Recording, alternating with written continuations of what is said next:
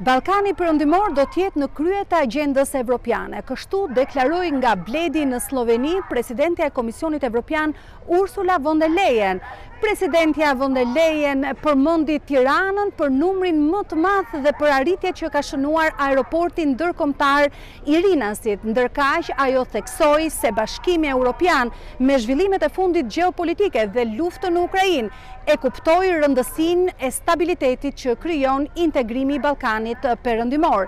Gjithashtu, presidentja e Komisionit Evropian deklaroi se së bashku me Ballkanin Perëndimor, pjesë e integrimit europian do të jetë gjithashtu edhe Ukraina edhe Moldavia. Nga paneli i liderëve Një botë e realiteteve paralele, kryeministri Edi Rama mirëpriti vendimin që konfirmoi presidentja e Komisionit Evropian Ursula von der Leyen duke theksuar edhe një herë se integrimi i Ballkanit Perëndimor është tejet i rëndësishëm për stabilitetin dhe paqen në Europë. Gjithashtu, kryeministri rikonfirmoi edhe një herë angazhimin e Shqipërisë për të përmbushur të gjitha detyrimet e integrimit në prag të çeljes së kapitujve të ri me Brukselin. Është për të ardhur keq midis kohës kur isha në moshën e tyre. Sot të rinjtë kanë shumë më pak besim tek politika. Politika të ndjek nga pas gjithmonë. Ke dy alternativa, ose mund të jesh aty në errësirë, të ngresh dorën, të marrësh mesazhin e të duartrokasësh mesazhin që praktikisht nuk e di se çfarë do të thotë dhe më pas vuan vendimet që merr politika, ose del në skenë dhe angazhohesh me politikën. Shihini çfarë bën politika kur nuk është në pozitën e duhur, çfarë bën në Ukrainë.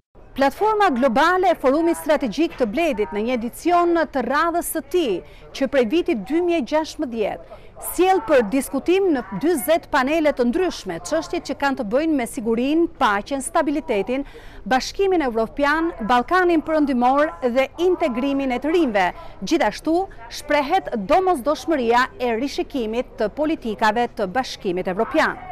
Për Radio Televizionin Shqiptar nga Bledi, Denada Shkodrani.